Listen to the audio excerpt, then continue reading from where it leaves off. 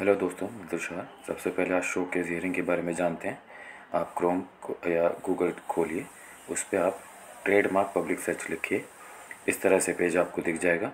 फिर उसके बाद आप देख सकते हैं, नीचे थर्ड नंबर पे हमारे पास officially website of intellectual property India के लिए। उस पर आप क्लिक करेंगे। क्लिक करने के बाद इस तरह से आपको देखो, एक पेज दिखेगा। आप इस तरह से देख सकते हैं। थर्ड नंबर पे लिखा है ट्रेडमार्क। नीचे आएँगे। जो लिखा है हियरिंग बोर्ड आप उस पर अगर क्लिक करते हैं तो वो नहीं करना है आपको क्लिक आप उस पर कर्सर लेके सिर्फ़ जाएँगे और एक राइट हैंड साइड पे एक और खुला है जो टी एल हियरिंग बोर्ड है। उस पर क्लिक करेंगे तो इस तरह से आपको पेज दिख जाएगा। जो पेज दिखेगा, देखिए आप लोग अपनी हियरिंग जानना चाहते हैं, कौन सी स्टेट से आप लोगों की हियरिंग जाएगी।